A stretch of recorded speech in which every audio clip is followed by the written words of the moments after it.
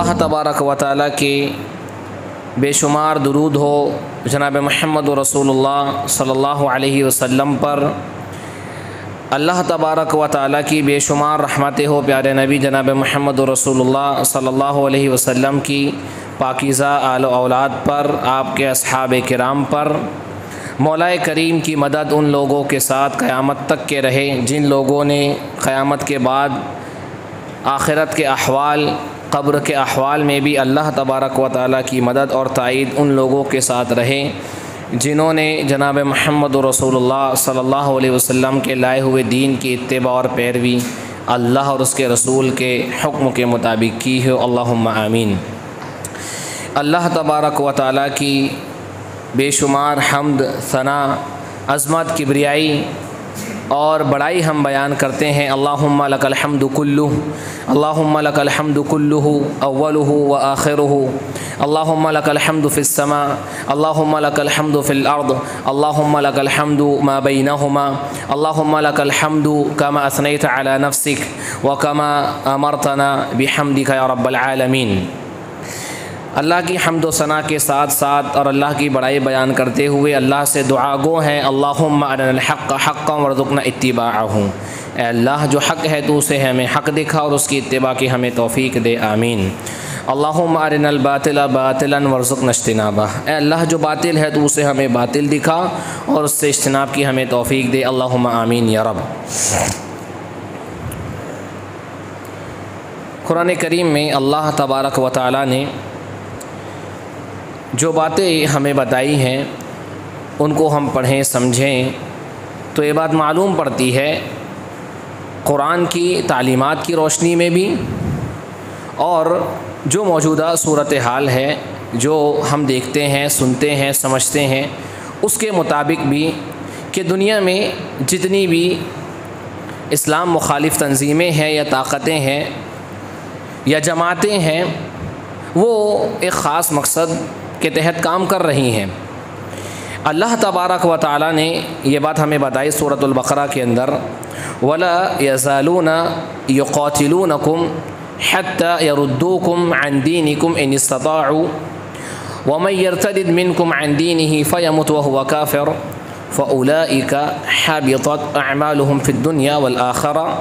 व उलाइका अस्हाबुन नार हम फ़ीहा खालिदून।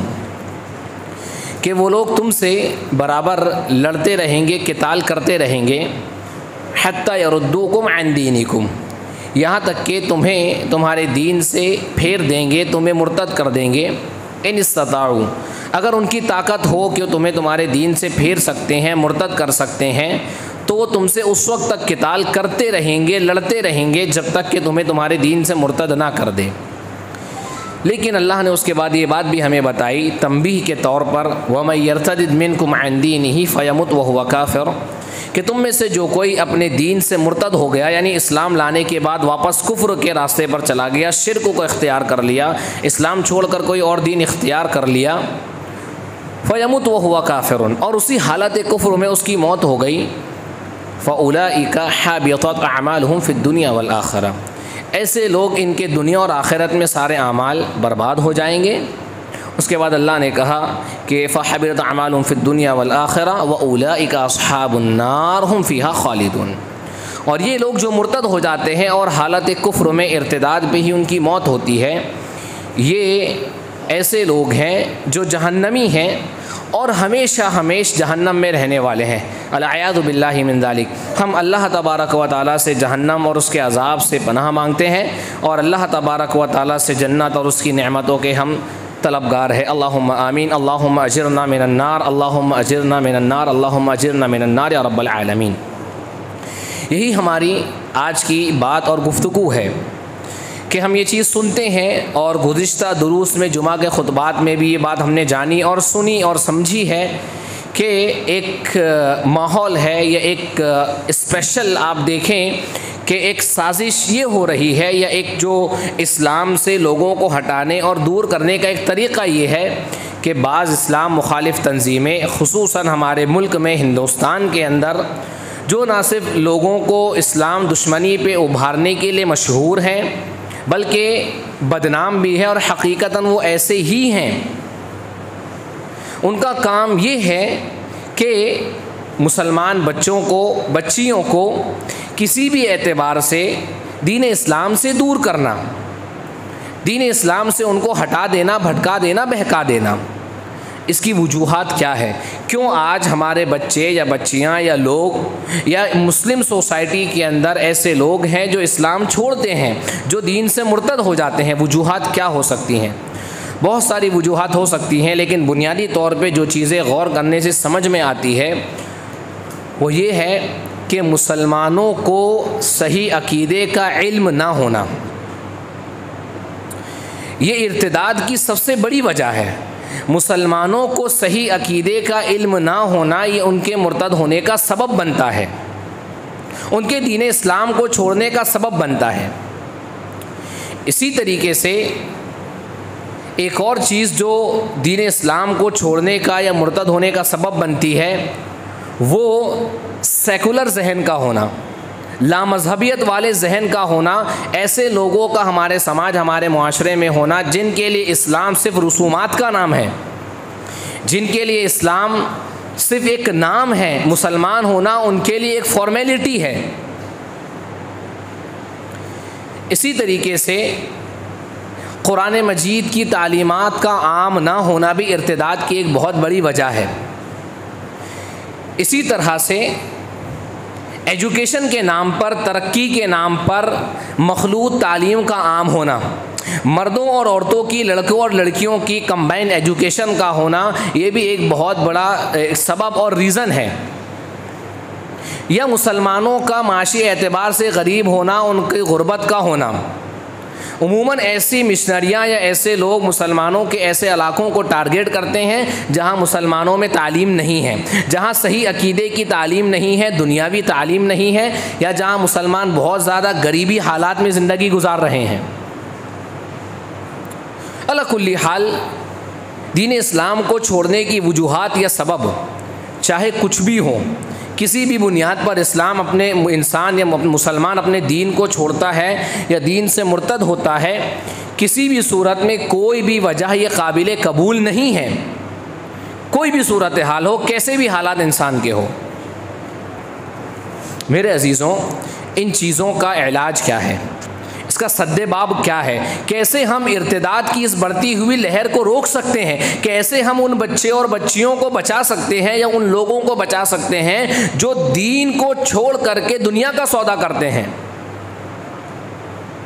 जो इस्लाम की पाकिज़ा तालीमत को मुक़दस तालीमत को, तोहद के अजीम शान दीन को, तोहद जैसी खैर और बरकत को छोड़ करके शिरक और कुफर जैसी नहूसत को इख्तियार करते हैं। आप देखें, अल्लाह के नबी सलाम की जो तालीम है, क्या ज़बरदस्त तालीम है। एक रिवायत हम देखते हैं, उसी की रोशनी में हम ये जानेंगे कि इसका इलाज है इसका तदारुक क्या है। वन अदी इबन हातिम रदी अल्लाह तौल अतैतुलनबी सल्ला वसम वफ़ी अनक़ी सलीब मिन ज़हबिन फ़क़ौल या अदी इतरह अन कहादलवसन वसमत यकरफ़ी सूरत बरअतिन इतखदु अहबारहम वरहबानहम अरबाब मिन दूनिल्लाह क़ाल अमा इन्नहुम लम यकूनु यअबुदूनहुम वलाकिन्नहुम कानु इज़ा अहल्लु लहुम शयअन इस्तहल्लुहु व इज़ा हर्रमु अलैहिम शयअन हर्रमुहु रवाहु तिरमिज़ी फ़ी अबवाब तफ़सीर अल कुरान अन रसूलिल्लाह सल्लल्लाहु अलैहि वसल्लम। सुनन तिरमिज़ी की ये रिवायत है। अदी इबन हातिम रदी अल्लाह तु कहते हैं कि मैं अल्लाह के नबी सलाम के पास आया वफ़ी सलीब मिन जहबिन। मेरे गले में सोने की सलीब लटक रही थी। जो क्रॉस होता है क्रिश्चनों का, ईसाइयों का, वो सोने की सलीब मेरे गले में लटक रही थी। अल्लाह के नबी सलाम ने क्या कहा? फ़कौला, या अदी इतरहन का हाजल वसन। ए अदी, इस बुत को तुम अपने आप से दूर कर दो। अदी बिन हातिम रदी अल्लाह तु कोई बुत अपने गले में बाँध करके नहीं आ रहे थे, कोई बुत अपने जिसम पर लगा कर नहीं ला रहे थे, बल्कि जो सलीब लटकी हुई थी अल्लाह के नबी सलाम ने उसके ताल्लुक से क्या कहा, ए अदी, इस बुत को तुम अपने आप से दूर कर दो। हुक्म दिया अदी बिन हातिम रदी अल्लाह तु को। क्यों? क्योंकि अदी बिन हातिम रदी अल्लाह तु का उस सलीब से एक अकीदा जुड़ा हुआ था। क्या अकीदा? ये अल्लाह ताला के अलावा कोई ज़ात है? ये सलीब के अंदर वो ताकत है, वो कुदरत है कि नफ़ा नुकसान इंसान को दे सकती है, आने वाली मुसीबतों को टाल सकती है, खैर ला सकती है, शर को दूर कर सकती है। ये अकीदा अदी बिन हातिम रज़ी अल्लाह तु का सलीब से जुड़ा हुआ था। लिहाजा अल्लाह के नबी सलाम ने कहा कि अदी अपने आप से इस बुत को दूर कर दो। आज मौजूदा सूरत हाल में हम देखें कि मुसलमान आज अकीदे के नाम पर, दीन के नाम पर कैसी कैसी चीज़ों को बाँध करके, लटका करके घूम रहे हैं। उसे दीन समझ करके, खैर समझ करके, उसके गले में अगर तावीज़ या धागा डला हुआ है, हाथ में धागा बना हुआ है तो उसका अकीदा है कि अल्लाह के अलावा ये तावीज़ है, ये धागा है, ये फला दरगाह का, फला बाबे का ये है, जो नफ़ा नुकसान का मालिक है, जो मुझे खैर दे सकता है, जो मुझसे शर को रोक सकता है। ये बहुत अहम चीज़ है। अल्लाह के नबी सलाम ने कितने ताकीदी अंदाज में उस अकीदे का रद्द किया, उस अकीदे के फसाद का रद्द किया है।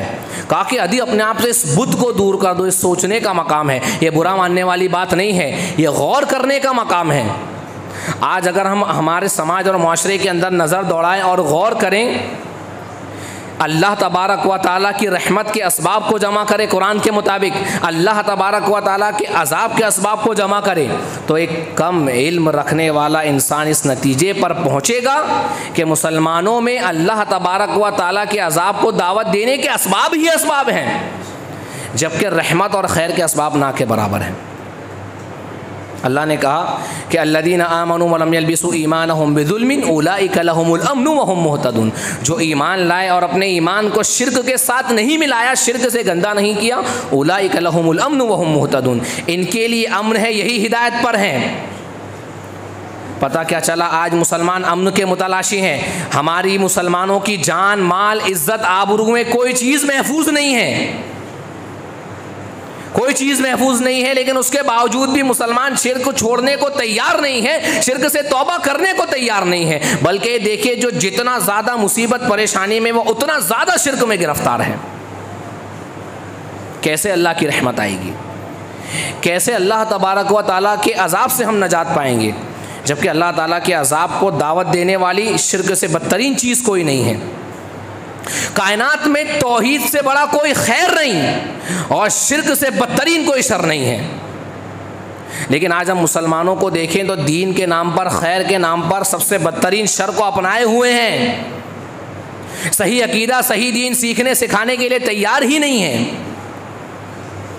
लिहाजा सबसे ज़्यादा ज़रूरत जिस बात की आज हमें है, वो अकीदे की असलाह की है। आप देखें एक हदीस अल्लाह के नबी सलाम की वान मुआद इबन जबल रदी अल्लाह तौल कुन तुरदफ़न नबी सल्ला वसम हमारिन युकौल फ़ैर फ़क़ौल या मुआद अतदरी मा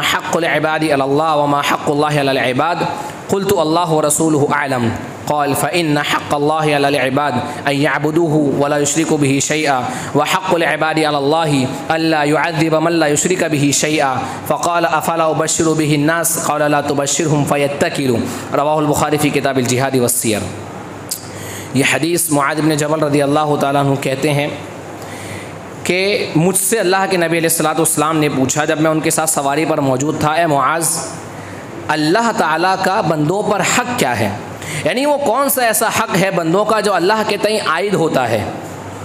और फिर बंदों के हक़ अल्लाह पर क्या है? तो माज इबन जबल कहते हैं कि मैंने कहा, अल्लाह और उसके रसूल बेहतर जानते हैं। अल्लाह के नबी सलाम ने कहा फ़ैन्ना हक़ल्लाबादी वलाशरक भी शैया बंदों की जो ज़िम्मेदारी, जो हक़ अल्लाह तबारक व ताली के तई आयद होता है, वो क्या है? अयाबुदू वला युशरक भी शैया कि सिर्फ़ अल्लाह की इबादत करें और अल्लाह के साथ किसी को शरीक ना करें। जो अल्लाह का हक है, सिर्फ़ अल्लाह की इबादत और शिरक को छोड़ देना। आज मुसलमान अल्लाह को अल्लाह का यह हक देने के लिए तैयार ही नहीं है। जो हक अल्लाह का आयद होता है, उसको देने के लिए तैयार नहीं है। अल्लाह के हक में कोताही कर रहे हैं। सबसे अजीम हक में। उसके बाद हम उम्मीदवार हैं कि अल्लाह की रहमत आ जाए, अल्लाह की मदद आ जाए। अल्लाह तबारक व ताली की नुसरत आ जाए। कैसे आएगी? जब हम अल्लाह का हक अल्लाह को देने के लिए तैयार नहीं है, जो हक अल्लाह का हमसे मुतालबा है, उस हक को हम अल्लाह को देने के लिए तैयार नहीं हैं। फिर कैसे हम अल्लाह से खैर के उम्मीदवार हैं? कैसे हम अल्लाह से मदद और तइद के उम्मीदवार हैं? कैसे अल्लाह की रहमतों की हम उम्मीद लगा रहे हैं? फिर अल्लाह के नबी सलाम ने कहा कि बंदों के तई अल्लाह का जो हक़ है वो ये है अल्लाह युद्दिबम अल्लाह युशरी का भी शैया जो अल्लाह के साथ शिरक नहीं करता है, अल्लाह तबारक व ताली उसे अजाब ना दे। आज मुसलमानों के ऊपर दुनिया के एतबार से कोई ऐसा अजाब नहीं है जो मुसलत नहीं है। कोई ऐसा अजाब मुसलमानों पर नहीं है जो दुनियावी एतबार से मुसलत ना हो। गौर करें, सोचें।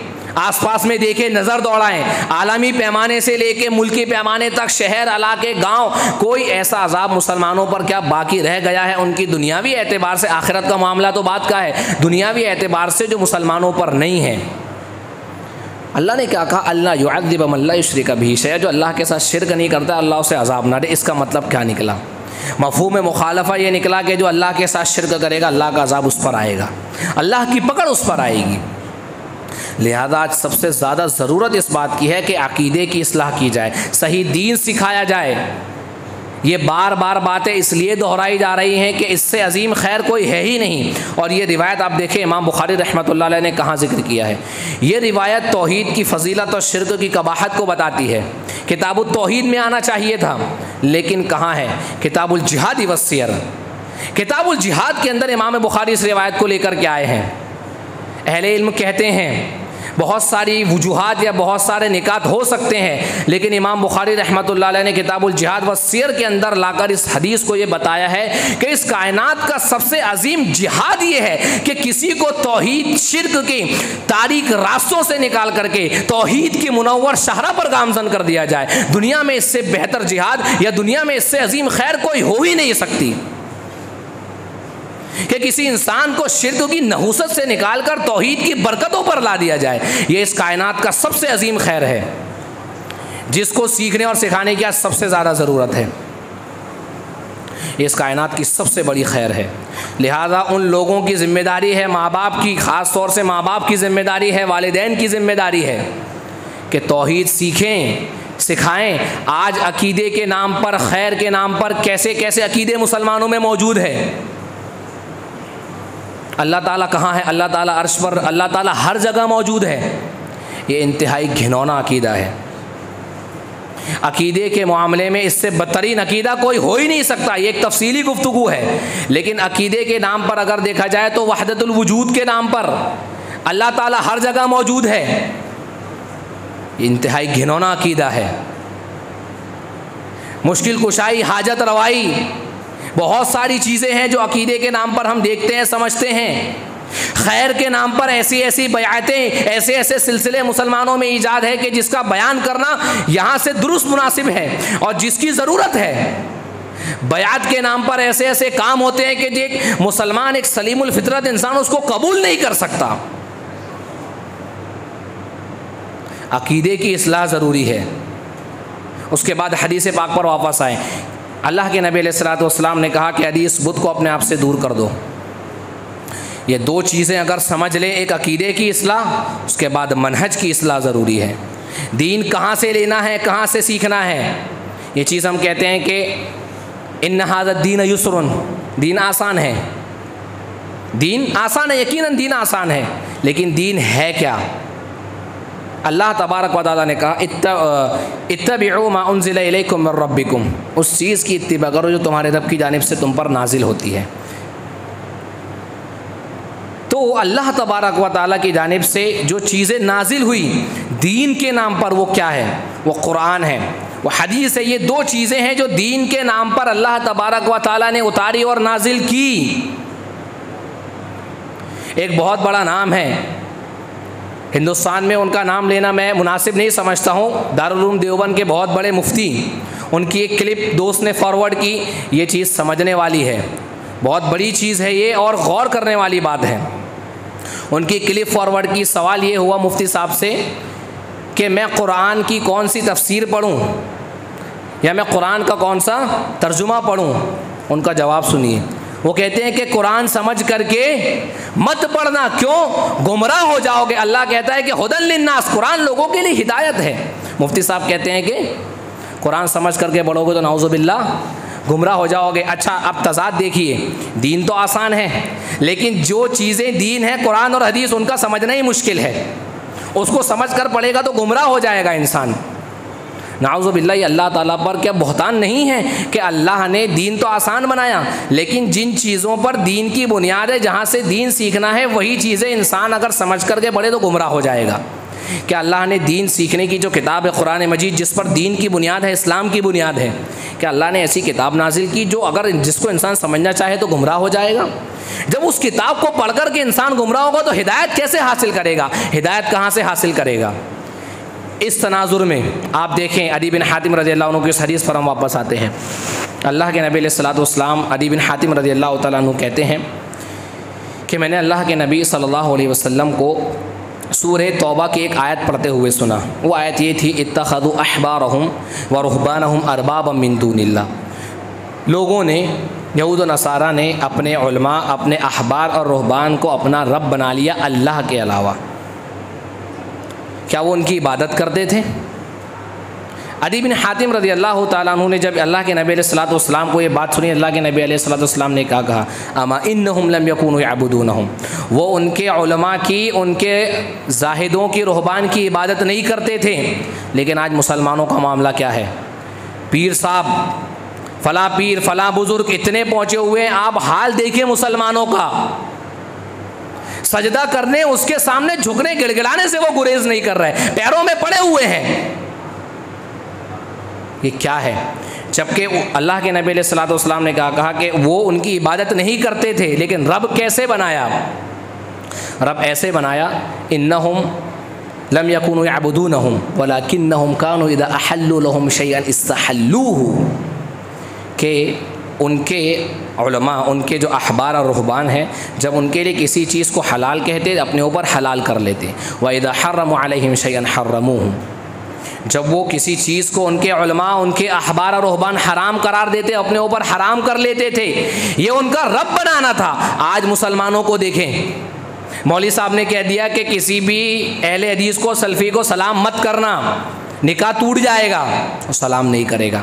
अल्लाह हुक्म दे रहा है, अल्लाह के रसूल सलाम सलाम करने का हुक्म दे रहे हैं। मौली साहब ने बोल दिया, उसके दावत में मत जाना, निकाह टूट जाएगा, सलाम कर लेगा तो तू दीन से खारिज हो जाएगा। वो सलाम करने को तैयार नहीं है। यही रब बनाना है कि जो शरीयत साजी का जो हक अल्लाह तबारक व का है, उस हक को किसी और को दे देना। आज कोई मुसलमानों के अंदर कश्फ और ख्वाबों की बुनियाद पर दीन साबित कर रहे हैं। ख्वाब देखा कि ये चीज़ पढ़ लो तो ऐसा हो जाएगा, उसको दीन और शरीयत बना दिया, किताबें लिख दी गई। अल्लाह की किताब का दर्स मस्जिद में नहीं हो रहा है लेकिन कश्फ व शुबात की किताबों के दुरुस्त हो रहे हैं। वो घर अल्लाह तबारक व ताला के, जहाँ से अल्लाह की किबरियाई, अल्लाह की बड़ाई बयान होनी चाहिए। वहाँ से किस्से कहानियाँ बयान हो रही हैं। वहाँ से ख्वाबों की दीन की बुनियाद, शरय अहकाम और मसाइल की बुनियाद ख्वाबों पर रखी जा रही है। क्या रब बनाना नहीं है? ये बातें बुरी मानने वाली नहीं है। अगर किसी को बुरा लग रहा हो तो वो इसको बुरा ना माने। किताब सुन्नत की रोशनी में, हक की रोशनी में, दलाइल की रोशनी में इन बातों का जायज़ा लें। फला पीर साहब ऐसे थे तो चालीस साल एक ही वज़ू से नमाज़ पढ़ लिए। और ये चीज़ें चल रही हैं, लोग उसको दीन और खैर मान रहे हैं। मेरे अजीज़ों, आप देखें, ये बहुत बड़ी चीज़ें हैं। इन चीज़ों की आज ज़रूरत है सबसे मेन अकीदे की असलाह की। खैर सीखने की तोहहीद सीखने की। आज बच्चियाँ क्यों मुर्तद होती है? उसकी एक बहुत बड़ी वजह यह है कि आज हमारे जो नौजवान नस्ल है, जो हमारे बच्चे और बच्चियाँ हैं, वो इस्लाम को दकियानूसी मज़हब समझते हैं नाउदबिल्लामिनदाली क्यों? क्योंकि ख़ुद उन्होंने अपने माँ बाप को अपने घर में ऐसा माहौल पाया कि जिनके नज़दीक इस्लाम सिर्फ़ फॉर्मेलिटी है। जो दीन इस्लाम को अल्लाह तबारक व ताली की पसंद का दीन, अल्लाह की रज़ा की खातिर अमल नहीं कर रहे हैं बच्चों को इस बात की तालीम देने की ज़रूरत है कि ये वो दीन है जिसको अल्लाह तबारक व ताली ने तमाम अदियान पर फजीलत दी, फ़ोक़ियत दी। अल्लाह ने कहा कि वह मैबत गैर इस्लामी दीन फ़लाक़बलमिन हुआ वफ़िल आखिरत मिनलखसरीन जो इस्लाम के अलावा कोई और दीन इख्तियार करेगा, अल्लाह तबारक व ताली उससे इस दीन को कबूल नहीं करेगा। अच्छा एक चीज़ हम देखते हैं, सोचते हैं। बड़े खूबसूरत नारे हैं, औरतों की आज़ादी। हैं, आज़ादी नस्वा के नाम पर, दीवारों पर हम नारे लगे हुए देखते हैं, लिखा हुआ देखते हैं, बेटी पढ़ाओ, बेटी बचाओ, बेटी पढ़ाओ, बेटी बचाओ, ये नारा बहुत खूबसूरत है। लेकिन बेटी पढ़ाने की वजह से, बेटी पढ़ाने के चक्कर में जो नुकसान जो शर आ रहा है, उसको कोई नहीं समझ रहा है। उसको कोई देखने के लिए तैयार नहीं है। ऐसा नहीं है कि इस्लाम औरतों की तालीम के ख़िलाफ़ है। इस्लाम औरतों को मुकम्मल तौर पर तालीम हासिल करने का हक़ देता है, लेकिन जो हदूद है, जो असूल है, उसमें रह करके। आज हम देखते हैं ये चीज़ हमारे घर के अंदर, हमारे समाज और माशरे के अंदर। कुरान की तालीम को आम करने की क्यों ज़रूरत है? जब ये चीज़ होगी, ऐसे होंगे जो लोगों को ये बताएँगे कि कुरान समझ कर पढ़ोगे तो गुमराह हो जाओगे। तो उसका नतीजा क्या होगा? अगर एक इंसान कुरान को समझ कर पढ़ेगा, समझाएगा, सीखेगा तो उसकी नज़रों से कुरान मजीद की ऐसी आयात गुजरेगी, वाला तुनकी न हत युमिन। कि मुशरकों से उस वक्त तक के निकाह मत करो जब तक वो ईमान ना ले आए। तुम्हारे लिए एक मुसलमान ग़ुलाम बेहतर है मुशरक से। क्यों? उलानार वयुबैन आयाति इसलिए मुशरकों से निकाह मत करो उलानार ये जहन्नम की तरफ़ बुलाते हैं। वल्लाजन्नत वलमफ़रत बिदनी और अल्लाह तबारक व ताली लोगों को मफ़रत और जन्नत की तरफ़ बुलाता है। ये आयतें कब हमारे बच्चियाँ सीखेंगी, कब इन आयतों को समझेंगी? जब हमारे समाज, हमारे माशरे के अंदर ये चीज़ आएगी, कुरान को सीखने, सिखाने का माहौल पैदा होगा। इस तरीके की आयतें बच्चियों को सीखने और सिखाने की ज़रूरत है, समझाने की ज़रूरत है। हम देखते हैं कि एक बच्ची कॉलेज जा रही है, इंस्टीट्यूट जा रही है। अब बच्ची ने बचपन से अपने घर के अंदर ये चीज़ देखी कि उसके अब्बा उसको इज़्ज़त नहीं दे रहे हैं रिस्पेक्ट नहीं दे रहे हैं। अट्ठारह साल, बीस साल की हो गई, जब कॉलेज, स्कूल से निकल कर के कॉलेज में आई क्लासेस ज्वाइन की। उसका ऐसी बच्चियों के साथ उठना बैठना है जो इबाहियत पसंद है, जिनके नज़दीक हिजाब की कोई अहमियत नहीं है, कोई पर्दे का वो नहीं है। मुशरकाना माहौल में उठना बैठना है। कॉलेज फ्रेंड्स ऐसे हैं जो मुशरक हैं, जो काफिर हैं। अब होता क्या है? ये बच्ची तो ठीक ठाक है। थोड़ी बहुत दीन को जानने वाली, समझने वाली है। थोड़ी बाहया है, पर्दे वाली है। लेकिन हुआ क्या? कि जब उसने ऐसे लोगों में उठना बैठना किया, मेलजोल उसका हुआ तो अब दोस्तियाँ होने लगी। अब दोस्ती हुई तो दोस्ती यारी बढ़ते बढ़ते ऐसा हुआ कि क्योंकि ये तो एक ख़ास एजेंडे के तहत काम कर रहे हैं। इनका मकसद मुसलमान बच्चियों को बर्बाद करना, उनको उनको मतलब ये कि तबाही के दहाने पर लाना मकसूद है। अब ये क्या करता है? जब इसकी किसी लड़के से मुलाकात हुई, हंसने लगे चाय शाय होने लगी, उसके बाद ये उसकी तारीफ़ें करने लगा। कि यार आप बड़ी अच्छी हो, आपकी बातें बड़ी सेंसिटिव होती है, बड़ी अक्लमंदी की बातें होती हैं, आपसे अच्छी तो कोई बात नहीं कर सकता। आप जब बातें करती हो तो बस दिल करता है कि सुनता रहूँ। या इस तरीके की जितनी भी बातें हो सकती अब बच्ची क्या सोचती है? कि यार ये चीज़ें तो कभी 18 साल 20 साल में मेरे माँ बाप ने मुझे नहीं बोली कि बेटा तू बहुत अच्छी है, बेटा तेरे अंदर ये है, बेटा तेरे अंदर वो है। लेकिन ये एक महीने में, डेढ़ महीने में मुझे ये समझ गया और जान गया। वो एहसास कम तरी का शिकार होती है। उसके बाद होता क्या है कि 18 साल की तालीम, तरबियत माँ बाप की कुर्बानियाँ सब फरामोश करके वो निकल जाती है। माँ बाप को एक चिट्ठी, एक लेटर मिलता है, अब्बू मैं जा रही हूँ और मुझे ढूँढने की भी कोशिश मत करना। क्यों है ये माहौल? उस बाप से पूछिए जिसकी बेटी चली जाती है, या उस मोहल्ले से, उस ख़ानदान से पूछिए जिनकी बेटियाँ इस तरीके से चली जाती है। ये क्यों है मेरे भाइयों? ये इसलिए है कि सही अकीदे का इल्म हमने नहीं सिखाया। कुरान की तालीम हमने नहीं सिखाई। हमने सैदना अबू उमर रज़ी अल्लाह तु का वो वाक़ वो कॉल कभी बच्चों को बताया नहीं कि नहन कौमन आज़न अल्लाबिलस्लाम वलाइज़्ज़त फ़ी गैर ही अल्लाह कि हम वो कौम है मेरी बच्ची, जिसको अल्लाह ने इस्लाम के ज़रिए से इज़्ज़त बख्शा है। वलाइज़्ज़त फ़ी गैर ही अल्लाह अगर हम इस्लाम छोड़ कर कहीं और इज़्ज़त तलाश करेंगे अल्लाह अल्लाह तो मेरी बच्ची, अल्लाह हमें जलील कर देगा।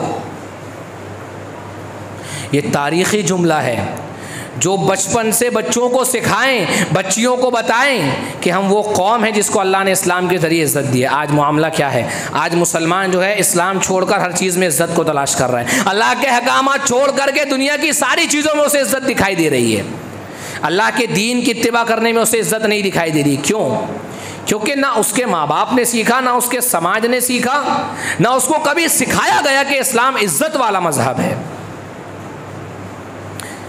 इंसानियत से बड़ा कोई मज़हब नहीं, ये बहुत खूबसूरत नारा है। बच्चे बोलते हैं, नौजवान नस्ल के अंदर ये नारे चर्चे में है, ज़बानों पर हैं। लेकिन हकीकत यह है कि इस्लाम से बड़ा कोई मज़हब नहीं और इस्लाम जैसी इंसानियत की अजमत किसी के नज़दीक नहीं है। ये चीज़ बच्चों को सिखानी है। इस्लाम जैसी अजीम तालीमत किसी और मज़हब के पास नहीं है। ये चीज़ें सीखने और सिखाने वाली है, ये बच्चों को समझाने वाली हैं। ये ज़िम्मेदारी है माँ बाप की, उन लोगों की ज़िम्मेदारी है जो सही अकीदे के हामिलीन हैं, सही मनहज के हामिलीन हैं, कि अपनी मसाजिद में, अपने मकातब, अपने मदारस के अंदर इन चीज़ों का अहतमाम करें। मेरे अजीज़ों आप देखें कि कितनी बड़ी बात है ये चीज़। वस्सा बिहा इब्राहिम बनी व याकूब। या बुनैया, इब्राहिम और याकूब ने अपने बच्चों को किस बात की नसीहत की? इब्राहिम आसमाम याकूब आसमाम ने इस बात की नसीहत की कि तुम वला तमूतन अल्ला व तुम मुस्लिमून। ए हमारे बच्चों, तुम जब तक के ज़िंदा रहना तो इस्लाम पर ज़िंदा रहना। और तुम इस बात की कोशिश करना कि तुम हालत इस्लाम पर मरो। ये चीज़ कब आएगी?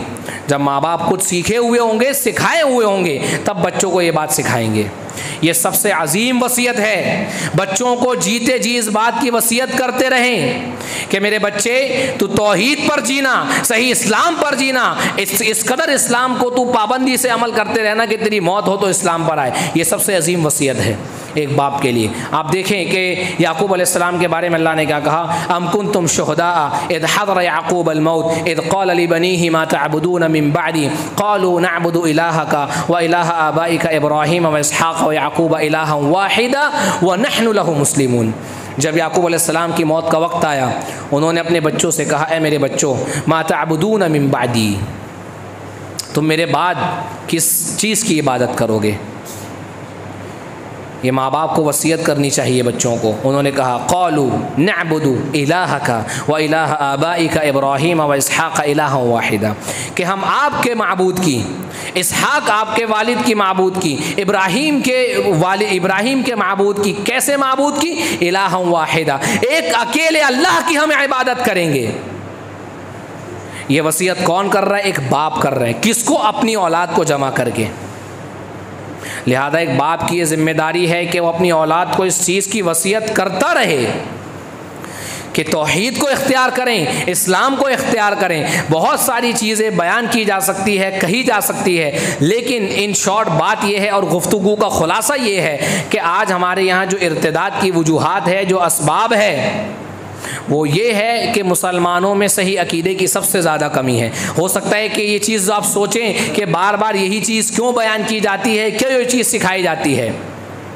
ये इसलिए सिखाई जाती है कि साढ़े नौ सौ साल सैदना नू सलाम की दावत का निचोड़ और खुलासा यही है। दस सदियाँ सैदना नू सलाम ने इसी चीज़ पर मेहनत की है। तोहहीद के अलावा दूसरा कोई दर्स कौम को पढ़ाया ही नहीं। दस सदियाँ, साढ़े नौ सौ साल तोहहीद के अलावा सही अकीदा सिखाने के अलावा कोई दूसरा दर्स कौम को दिया ही नहीं है। नबी सलाम ने तेरह साल मक्की ज़िंदगी में सही अकीदे और तोहहीद पर जितना ज़ोर दिया, उतना ज़ोर किसी और चीज़ पर नहीं दिया। अम्बिया सलाम की अवलिन दावत यही है। फिर ये चीज़ हम दोबारा से दोहराते हैं समझने के लिए, समझाने के लिए। हम बहुत सारी तंजीमें और जमातें देखते हैं जो दावत के नाम पर, खैर सिखाने के नाम पर मेहनत कर रही हैं, लेकिन उनकी दावत का तरीका नबवी तरीका नहीं है। जैसा हमने कहा, तरबियत का अंदाज़ ये है कि लोगों को ख्वाब की बुनियाद पर, बुज़ुर्गों की बुनियाद पर दीन सिखाया जा रहा है। फ़जाइल तो सारे बताए जा रहे हैं, लेकिन तोहहीद नहीं सिखाई जा रही, शिरक नहीं सिखाया जा रहा है। ये नबवी दावत नहीं है, ये नबवी दावत का मनहज नहीं है, ये अम्बिया की दावत का मनहज नहीं है कि आप तोहहीद को छोड़ करके किसी और चीज़ की दावत सबसे पहले लोगों को दे। तोहहीद छोड़ करके दुनिया की कोई और खैर आप लोगों को सिखाएँ। तोहीद है तो नमाज़ नमाज़ है, रोज़ा रोज़ा है, हज है, ज़क़़त है। अगर तोहीद नहीं है तो ये सारी इबादतें किसी काम की नहीं है। ये मामूली चीज़ नहीं है। फिर एक बार ये बात आखिरी समझने वाली है कि जहाँ अहले खैर हजरात हैं जो सही अकीदा जानने वाले हैं, अल्लाह से डरते हुए अपने समाज, अपने माशरे के अंदर सही अकीदा सीखने, सिखाने को आम करें तोहहीद को सिखाना आम करें, क्योंकि इससे बड़ी कोई खैर नहीं है दुनिया में और शिरक से बड़ा कोई शर और फसाद नहीं है। अल्लाह तबारक व ताली से दुआ है कि मौला करीम, जो बातें खैर की हमने सीखी हैं, अल्लाह तबारक व ताली उस पर अमल करने की हमें तोफ़ी दे और जो बातें अल्लाह तबारक व ताली हक़ या खैर के ख़िलाफ़ रही हो मौला करीम उससे दरगुज़र फरमाएँ। अल्लाह तबारक व ताली से दुआ है कि मौला करीम हमें अपने आसपास, अपने गिरद नवा में सही अकीदा सीखने की तोफ़ी अता फ़रमाएँ। मौला करीम तो हमें इस बात की तोफ़ी दें कि हम लोगों को तोहद सिखाएँ, तोहद सीखें और शिरक से लोगों को डराए और शिरक की कबाहत लोगों तक पहुँचाए। अल्लाह तबारक व ताली तो हमारे अकीदे की असलाह फरमा। अल्लाह आमीन। अल्लाह तबारक व ताली तोहद के बदौलत जो वादे और जो खैर तूने वादा किया है तो वो सब हमको नसीब फरमा। मौला करीम तो हमारी जान, माल, इज़्ज़त आबरों तमाम चीज़ों की हिफाजत कर। अल्लाह तबारक व ताली, तू हमें हर उस खैर की तोफ़ी दे जिससे तू राज़ी होता है, और अल्लाह हर उस शर से हमें महफूज रख, जो तू हमारे, तेरे गज़ब तक हमें ले जाने वाली है। अल्लाह तबारक व ताली, तू हमें कुरान को समझने और समझाने, सीखने और सिखाने की तोफ़ी दे, और अमल की तोफ़ी दे। मौला करीम, लोगों के अंदर जो दीन को लेकर बेजारी है, कुरान सीखने को लेकर के जो बेजारी है मौला करीम, तू उसको ख़त्म कर दें, और अल्लाह तबारक व ताली तो हमारे सीनों को, तोहद सीखने के लिए, दीन सीखने के लिए और कुरान सीखने के लिए मुनवर फरमा दे। अल्लाह आमीन, या रब। अल्लाह नसलू का खैर ख़ातिमा। अल्लाह हम तुझसे बेहतरीन ख़ात्मे के सवाल करते हैं और अल्लाह तबारक व ताली हम दुनिया और आखिरत की तमाम आजमाइशों और शर से तेरी पना मांगते हैं। अल्लाह तबारक व ताली तो अबू बकर, उमर, उस्मान, अली और तमाम सहाबा रदी अल्लाह तजमाइन से राज़ी हो जा। और मौला करीम तो हमें तोफ़ी दे कि हम भी उनके नक्श कदम पर और उनके मनहज पर चल कर उसी खैर और उसी भलाई को हासिल करें जो उन्होंने हासिल की। मौला करीम तो हमें नबी सलाम के दीन पर, तेरे असहाब के मनहज के मुताबिक चलने की तोफ़ी कता फ़रमा। अल्लाह आमीन या रब।